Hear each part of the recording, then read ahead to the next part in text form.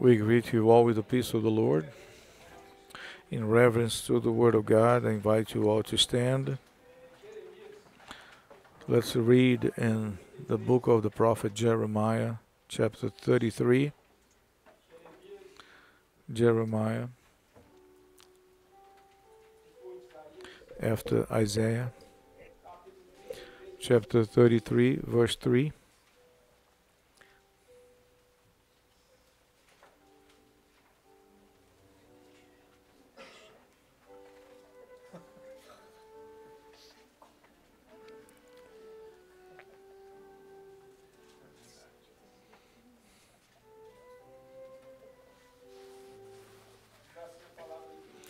The Word of God says as follows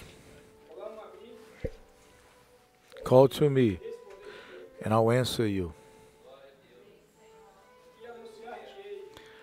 and show you great and mighty things which you do not know.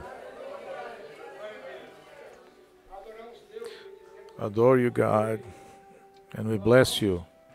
As for we plead, and you have answered us. We have invoked your name, as the song says, and we feel safe and saved. Our desire is to continuously praise you as we meditate upon your word and bless us in the whole church. In the name of Jesus, amen. The church may be seated.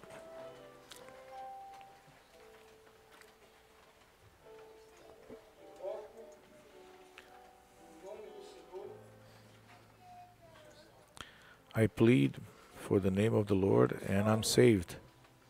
In the book of Psalms says, This poor hath plead and the Lord has answered him and delivered from all his fears. When we plead, God not only hears it, but God gives the deliverance. Blessed be his name. This passage that we just read talks about a prophet, his name Jeremiah. The king of Babylon has searched the city, and Jeremiah was in a prison, in a dungeon, and inside the dungeon, the Lord has spoken to Jeremiah. And the Lord spoke to Jeremiah that Jeremiah, I am the Lord, the God of all flesh. Will anything be wonder to me? Jeremiah was a servant of the Lord, prophet. He was announcer of the Word of God, ambassador of eternity,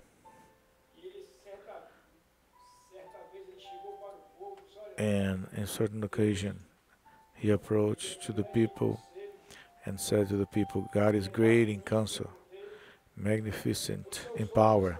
His eyes is open upon all the ways of the sons of men to give to every and each one according to his ways and according to the fruit of his hands of their hands. So jeremiah he spoke those words from the lord.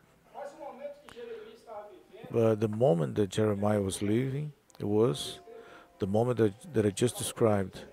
He was in prison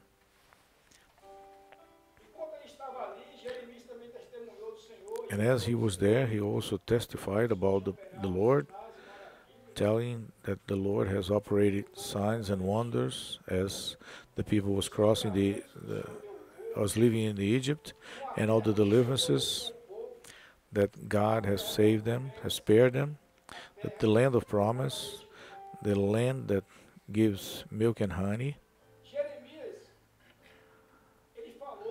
Jeremiah spoke and lived many, many experiences in the presence of the Lord. But now he was imprisoned.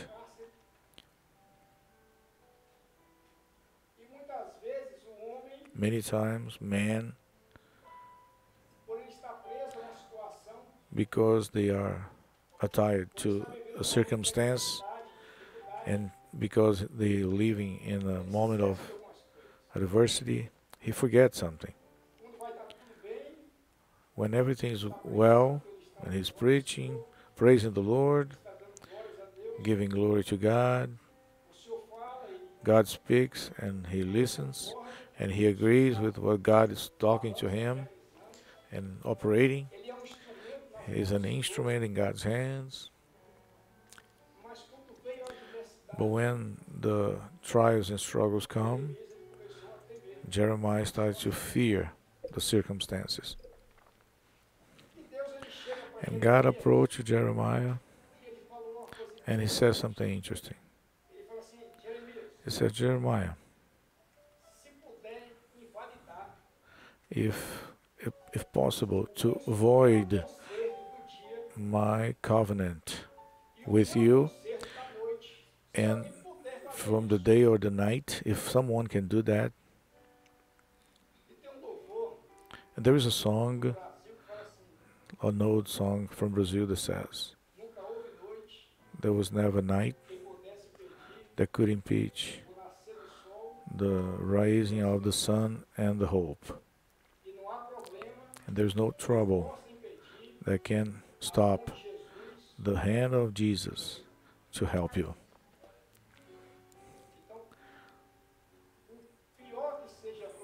As worse as the night, as dark as the darken, darkness can be, worse than the situation can be, that the man can find himself, as nobody can void the covenant that God has with the day and the night. And Bible says the night is moment of crying, tears, and even if the night lasts forever, the, the, the, the cry lasts forever, all the night, but the, the joy comes by the morning. Nobody can void the covenant that the Lord has made. So whatever appears to be impossible, I'm citing another song, something that doesn't look like have an exit. Whoever appears like a, a death, God has changed my fate, and He says, I am the miracle. I am here. Jeremiah was an instrument in God's hands. Jeremiah was a miracle because God has preserved his life until this moment. And now God approached to Jeremiah for the second time, and there was a text in the Bible that says, Before the Lord speaks with man one or two times during the night when he's in a deep sleep, which means God always reveals himself and speaks to his servants. There is a passage that says, Would I hide what I do to Abraham? By faith. We are descendants of Abraham. And the promise that God has done to Abraham, he made for all his descendants. But God says that even from the stones, God can bring children of Abraham. Now, speaking with Jeremiah, by the second time,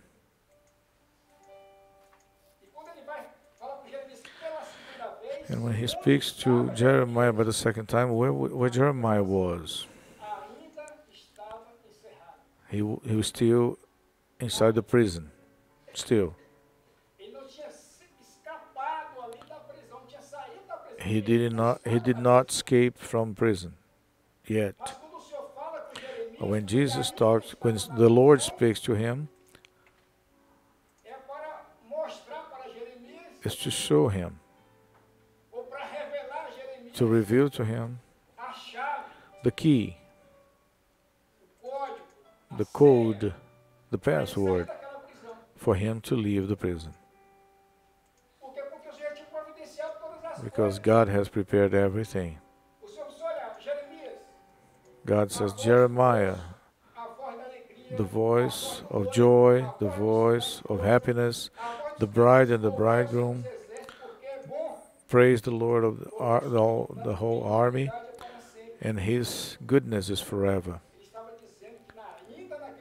He was saying that even though that moment, even though he's still in the prison, but he will leave soon. So the Lord says to him.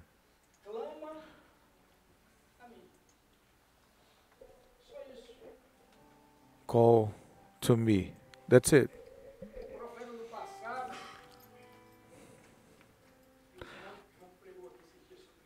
Recently, we heard a message about the prophet from the past that the the couple has made a room by the by the the, the wall with a chair, a bed, a table, and a chandelier. So the prophet asked the couple, "What can we do? What can I do for you?" The king, the chief of the army, she says, "Nothing. I don't need anything. Do not cry to them, because my situation they cannot resolve." my circumstance, only God can respond. And many times, man is like that. Man is in the situation like that described, and they forget to plead, and sometimes we, we cry out to the doctors, to the lawyers, to a politician, to the pastor. Doctors can do some, the lawyers also something. A politician might can do something. It might cost too many to you later. And the pastor also might, can do something. A, a cup of fresh water, give a discernment of a gift, and nothing more than that. Then at the moment, what Jeremiah needs to do was to plead to the Lord, call upon the Lord. Jeremiah, call to me. Do not call the king of Judah. Do not cry to the king of Babylon. do not cry to the chief of the army, to any friend to remove you from the prison, but call to me. And if you call to me, it will be an answer. That's it. And the answer you need for your life, my brother, my sister, it comes from the Lord. And for you to obtain the, the answer that you need, call to the Lord. Call to me, and I'll answer you. From. God, the answer will come. And even more than that, I'll announce you. which I'll, I'll announce something I'll give you a note, and I will reveal to you what you're not seeing,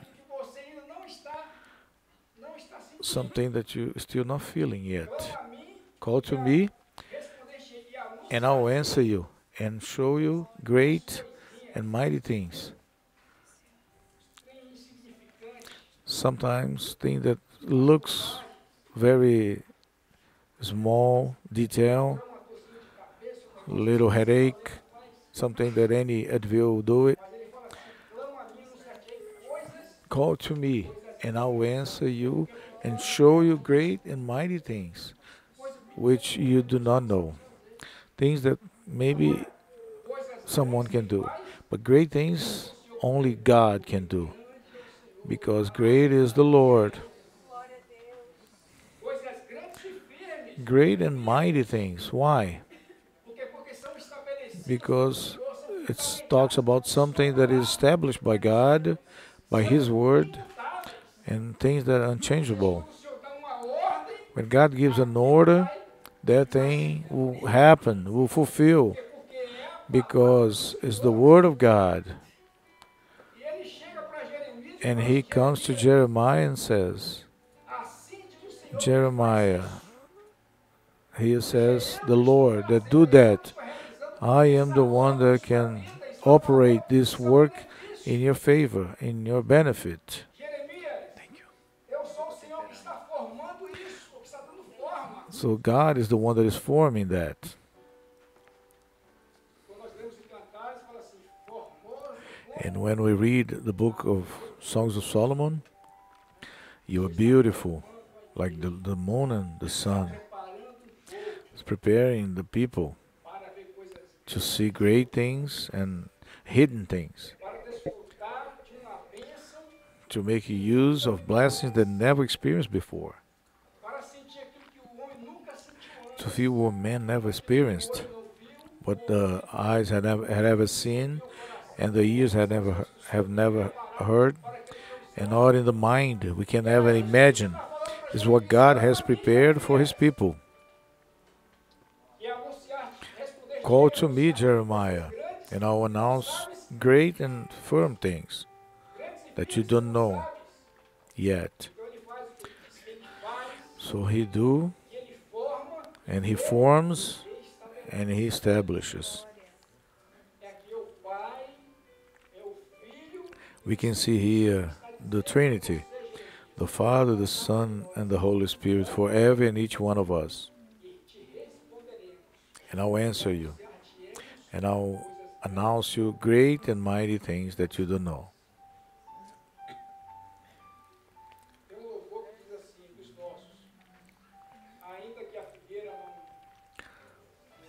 There's a song that we sing that says, Even though the fig tree doesn't give fruits, there's no fruits in the vineyard, and the olive tree also doesn't give their fruits, there's no cows in the, in the corrals.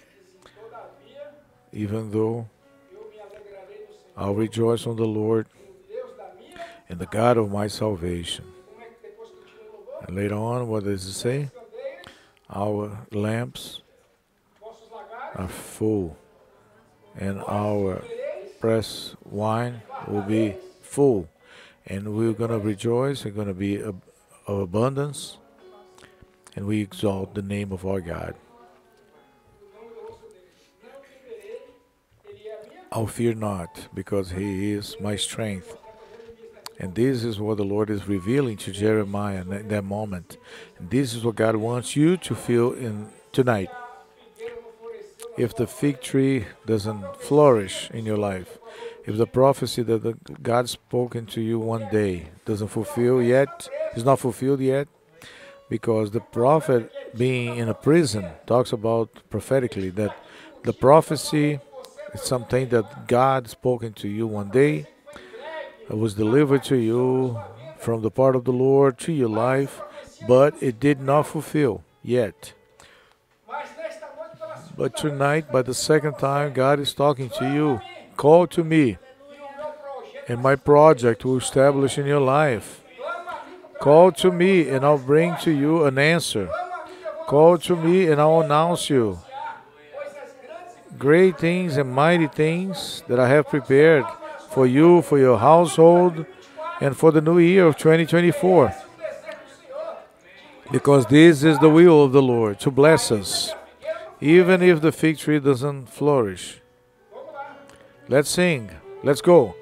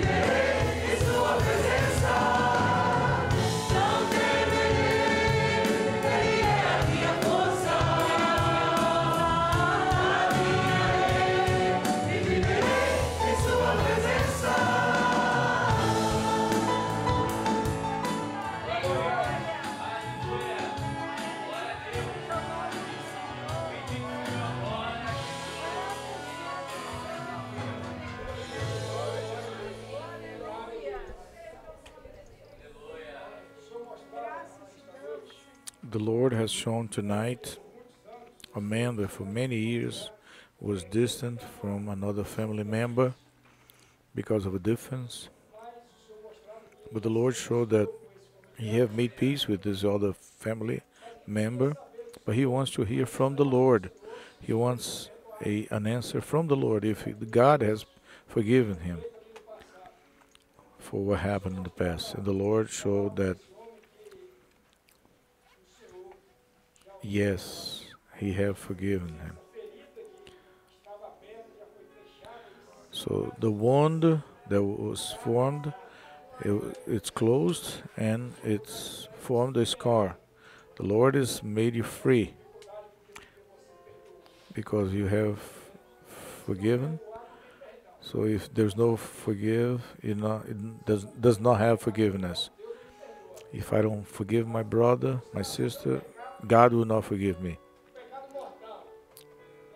Let's say a little sin, like a final sin, capital sin. But if you don't forgive your, your brother or sister, also God will not forgive you. As you've forgiven your family member, God is telling you, we are zeroed. You are forgiven. You go in peace. You are free. The Lord has shown also a woman walking on a very uneven way, full of accidents, depressions, and this woman, she couldn't look sideways because there was to the, the very heavy wilderness in both sides of the way. And she has two options to stop there and wait for help or to go back. If you run the animal will catch you. If you stay the animal will eat you. That's the like a common saying. There's no exit Uh, metaphorically. And she understood that none of the options was a good solution for her problem. If she go back it was bad and she stayed. If she stopped there it was bad too. So what does she need to do? She plead for the power that is in the blood of jesus and the, the way the pavement repair by itself interesting that the man that had the gift says, and she could go freely. Jesus is not a, not a way full of uh, holes. It's a way that you can walk and you can have peace. When we plead for the power of the blood of Jesus, which is His Holy Spirit, His Holy Spirit transforms us and put us in the new and and living way, not full of ups and downs, but a way that will conduct us, as the gift shows, to a beautiful garden. Bible Bible talks about that, describing the way to paradise. So she could reach her destiny, eternity. The Lord has shown also that some days ago he had a dream.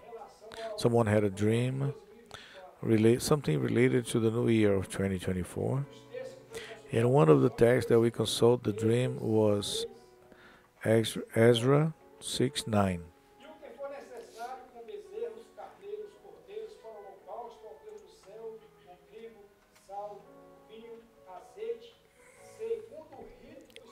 and whatever they need young bulls rams and lambs for the burnt burnt offerings of the God of heaven, wheat, salt, wine, and oil, according to the request of the priests who are in Jerusalem. So we want to say that God is the provider for everything we need. And the new year of 2024 is will be a year that the church will have enough experiences to experience the provision of God. When the people were leaving Egypt, They left with many supplies gold, silver, and many uh, herd. And they left rich there. They didn't live poorly. Was great spiritual blessings for us and also abundance of our professional life, or material life. Believe it. The dream shows that. Two trees. One tree was full of fruits. And as he approached to that tree, he thought, like, how can I reach too high? He didn't have a, a ladder or anything. As he approached to the to the tree, the fruit fell from the tree. As he opened,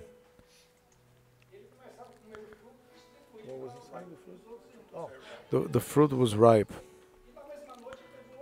And in the other night, he had another dream, dream, and he saw a olive tree, very small plant.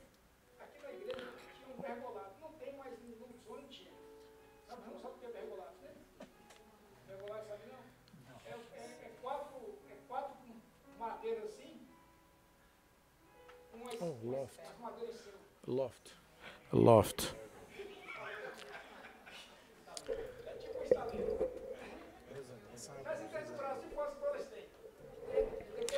It's like a like a loft.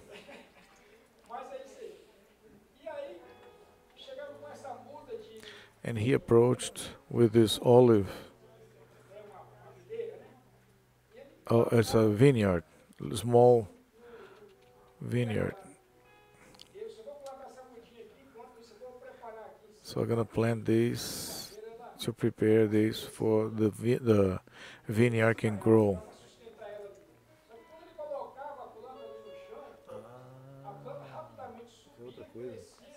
So the, the plant grow and give fruits.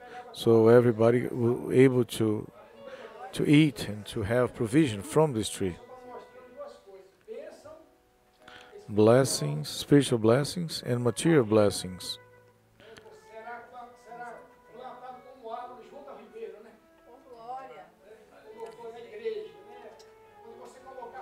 When you put your life, when you plant God's project in your life, not the Maranatha Church as an institution, but church, body of Christ, faithful church, the the bride of the Lamb.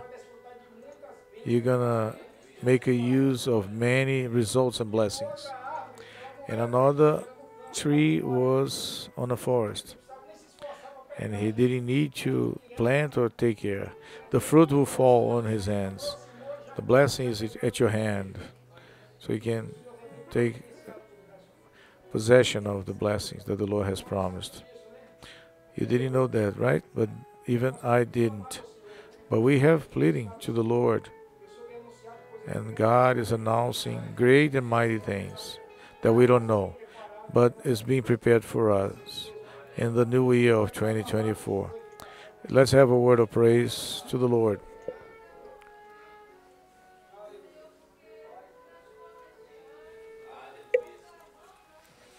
We thank you for, as for during all this year of 2023, we have called upon your name and you have saved us, you have preserved us, you have protected us from all evil, you have blessed us so much.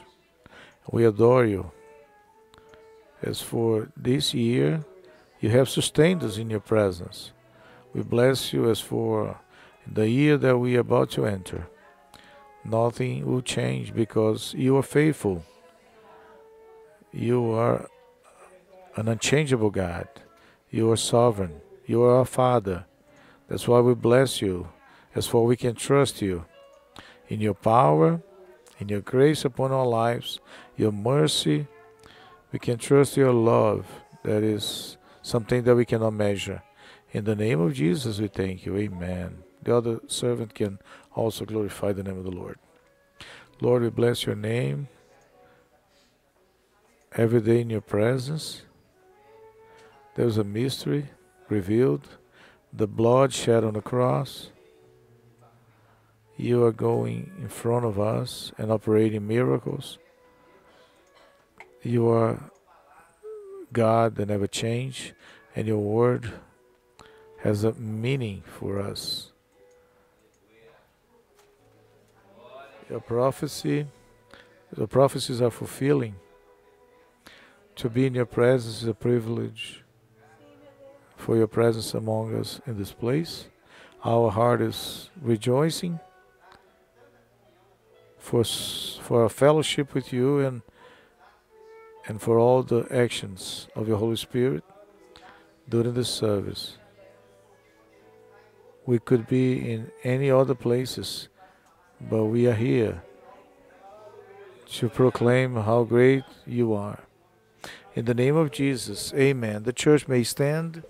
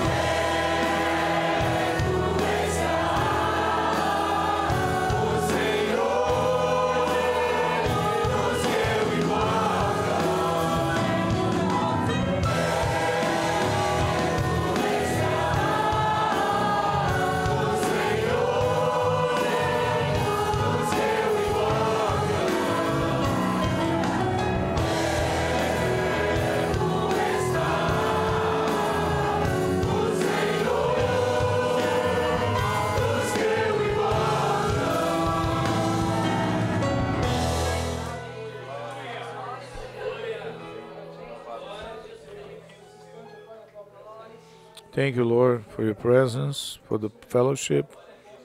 We adore you and we ask you that you can continuously operate in favor of your people. The gift that was transmitted, pour out your blessings upon your people. Bless us heading home, our businesses, and in your name, with the grace of our Savior Jesus Christ, love of God the Father, and the sweet consolations of the Holy Spirit can be upon all of us in the name of to- today and forever. The church may be seated. Tomorrow 31st, our service will be 10:30. The Sunday school teaching at 10 a.m. 10:30 a.m. So both services going to be in the same time, 10:30 a.m. 10:30 p.m.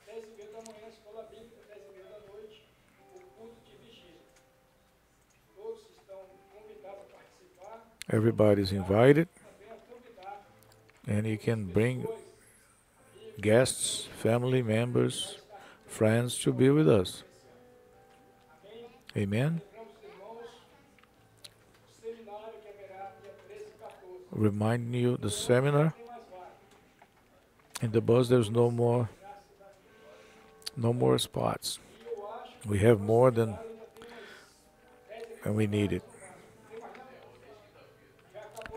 For the seminar, also the invitations are closed since Thursday. If someone didn't do it, I'm sorry. You, you have missed a great opportunity. And I believe that this seminar will be remarkable. We're going to come back saying great things the Lord has done for us. So if you didn't do it, I'm sorry. If you desire a prayer or assistance, give us a signal and we're going to uh, pray for you. The, the men come to the Sunday school, and after the Sunday school, we're going to have some tents to open, some tables to put it out, and we count on the participation and the help of everyone. Right after the assistance, we had a, we're gonna have a rehearsal with the ladies for a song that will be sang on the service.